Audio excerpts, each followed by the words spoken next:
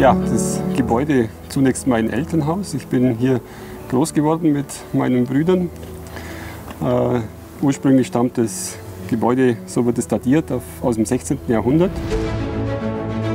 Wir haben ähm, diesen ehemaligen Wirtschaftsteil, der ja früher als Stall, später als Ablageraum für viele Gegenstände genutzt wurde, für uns ähm, zu Wohnzwecken nutzbar gemacht.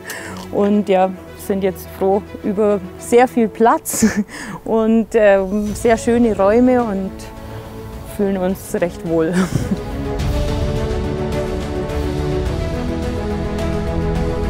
Das war so das Ziel, man sollte immer zweimal hinschauen müssen, um zu sehen, aha, hier wurde ja was geändert, die Nutzung wurde eigentlich verändert. Aus einem ehemaligen Wirtschaftsteil, aus einem Stall, aus einer Scheune entsteht jetzt Wohnraum. Das war so unser Anspruch.